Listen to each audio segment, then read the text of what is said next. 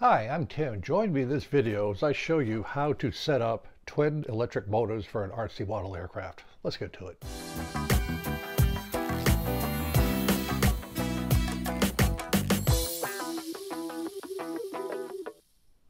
In this video, I'm going to show you how to set up two electric motors for multi, multi-engine RC flight. I've never flown a multi-engine uh, aircraft for RC, the exception of this little duet. Uh, this is a ready-fly model, and it's kind of unique in that you need both engines to power this lightweight model. And actually, through differential thrust, that's how you turn the model. But what I'm going to do in this video, again, just regular motors, how you can set them up to have twin, uh, twin motors running. There are different ways to do this with either uh, a battery for each motor, a single battery for the whole setup, a single electronic speed control. I'm going to show you what I think is the easiest way for normal sport size models where you don't have extremely large batteries, and that's to use two motors, two electronic speed controls, and two batteries for the setup.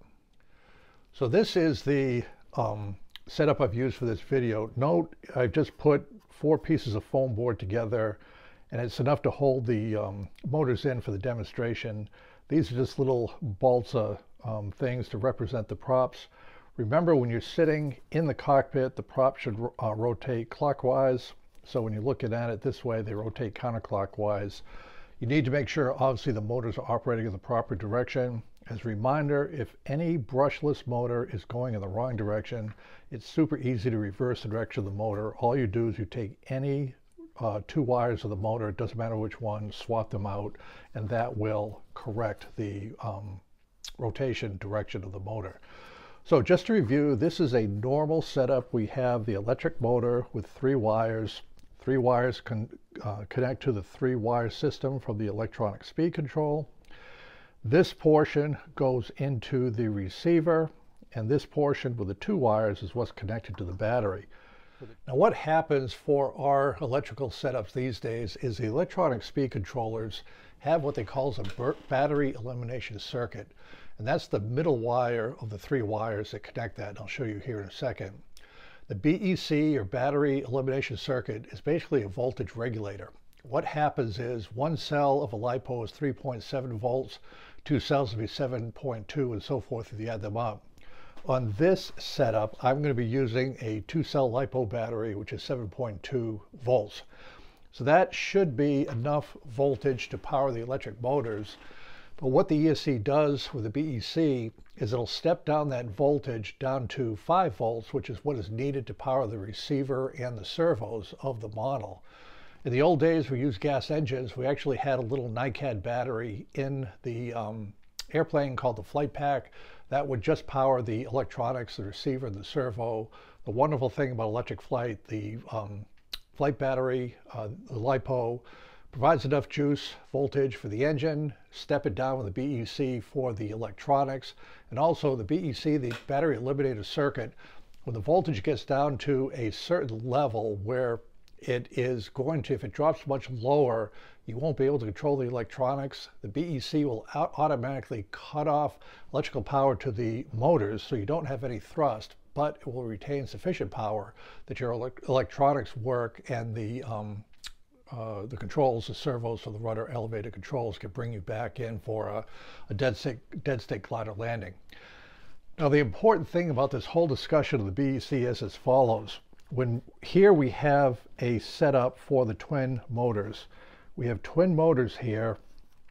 One thing I want to point out is I am not using the same motor for this just because I want to save a little bit of money. I just took two motors out of my parts bin. I did a um, very sophisticated analysis of the dynamics, of the electrical load. The, no, I didn't do any of that stuff. I just said they all look about the same. I think that'll work out okay for a sport model. If you have some really big important project, you do probably want to get identical electrical motors, but I think this should be okay for the foam board model that I'm going to build to test it out in. So what happens is, as I mentioned, this setup will have two electronic speed controls and two batteries. That's going to be the easiest way to set it up. The important thing of this whole video on this is as follows. If you look at the electronic speed control, this goes to the motor with the three wires. Two wires go to the battery.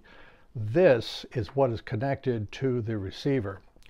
Notice that the middle wire here is a BEC wire. I've cut it.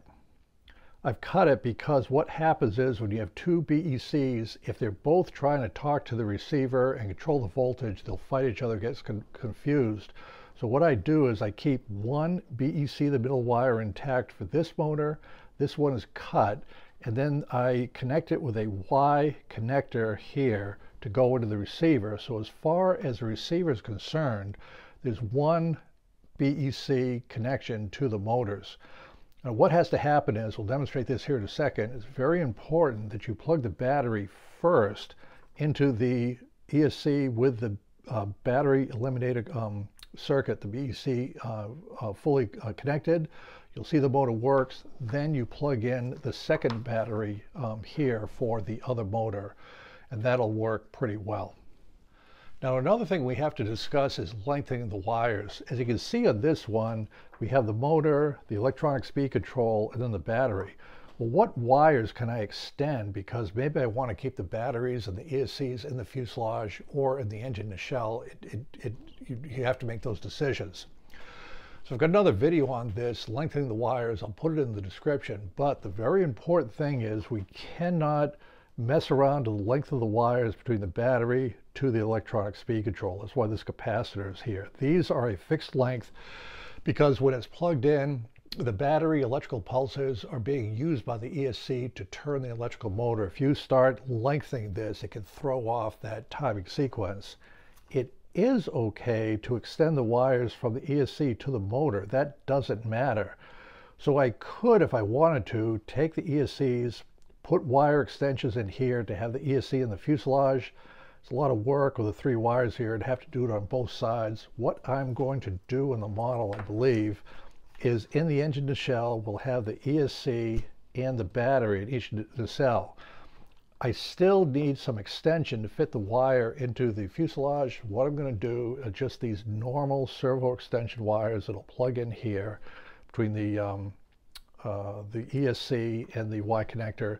That'll give me plenty of room to put the receiver into the fuselage. Very easy, no soldering, nothing required. And these connectors, Y connectors and so forth, very easy to get off of Amazon. So as I mentioned earlier in the video, let me just give a short discussion on whether you want to use two batteries like I'm going to use versus one battery or one electronic speed control ESC or two electronic speed controls. You can use a single ESC. The problem is you're going to have to have um, a big enough ESC because it's going to be double the voltage for the two motors.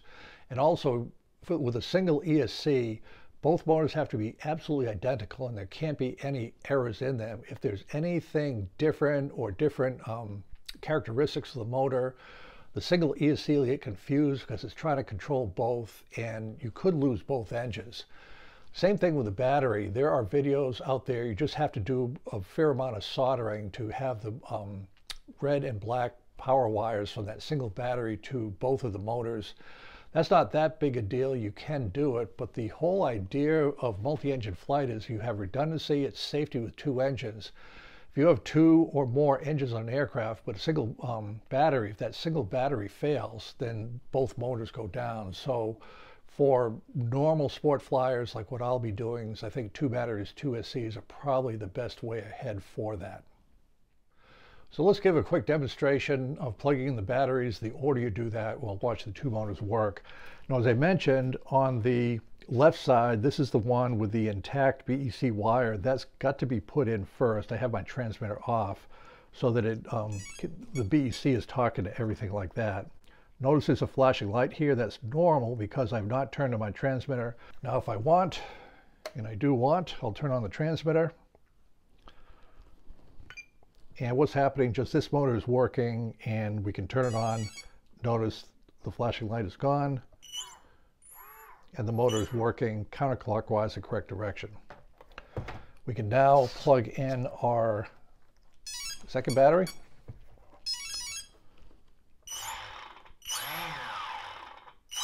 And you can see that both motors are working and in the proper direction. So that shows how to plug it in. Just make sure you plug in the first one with the uh, BEC connected. So now that I have these two motors set up, I've got to um, have an airplane to put them in. So I very quickly designed this airplane. I call it the Twinster. I'll probably come up with a better name. There's a download link for this in the video, uh, in the um, description of this video, and I will do a second video once I build and fly this twin engine model to show you um, how it all goes together. But what I've done just with this is, this is kind of what I call a working drawing because it gives the rough outline of the plane that I'm going to do, but I'll make adjustments as I go along. That'll flow into the final plan once I do it. But the first thing you've got to pick out is the wingspan Foam board comes 30 inches wide. It would be very convenient, like I do with my Bronco, just have a 30 inch wingspan model. I don't have to connect anything, uh, any wing halves. The problem is with these two motors, the weight of the batteries and all that, that's asking a lot of the model to have a 30 inch wingspan. I, I just don't think that's enough. So I'm going to make it a 40 inch wingspan. Uh, the 40 inch wingspan came from extremely detailed calculations, analysis, aerodynamics, and um, just a lot of, no it did. What I did was 40 inches fits well into the trunk of my car because I'm pretty sure as I build it, I'll have to see how long it is. It's going to be 32 inches long that I would like to glue the wing onto the fuselage just to keep everything connected. If I can glue on the wing and it fits in the back of the car, I'll do that. If not, I'll have to put in dowels and the um, rubber bands to hold that on. Looking at a chord of uh, 8 inches, which would be about right, and I'll go over all that in a subsequent video once I um, uh, successfully fly the twin, and we'll see how it works. Incidentally, the um, model that I'll build for the twin will be four channels. It'll include rudder. Normally, I'd just do three channels with aileron and elevator. When you fly multi-engine aircraft, the rudder is an extremely important control in case you lose an engine. I don't anticipate losing an engine, but I think for trimming and all that, it'll be good to have a rudder because I am using uh, two different motors. There might be some slight, slight thrust differences between the two motors. The rudder should help um, sort that out. So thank you for joining me in this video about how to set up twin electric motors. It's really not that hard. You just cut the one wire. One thing I wanted to point out, and I, I neglected to do it, these two wires, when their batteries plugged in, these are hot wires, okay? There's, there, there's electrical current trying to go through them. You don't want to short things out. I'll just take some heat shrink tubing, put it over the two wires so there's no danger of that. If I wish to use this um, ESC again for normal flight, I'll simply solder on connecting wire between those two and I'm absolutely back to normal. You see some videos where they take an X-Acto knife, try to pry it out from the connector and pull it out. To me, it's a lot easier to simply cut the wires, heat shrink tubing to make sure they're safe, then you just solder back in a, a connector if you have to do it. So again, thank you for joining me in this video. And um, the next video hopefully will be a flying twin engine RC model airplane on a foam board.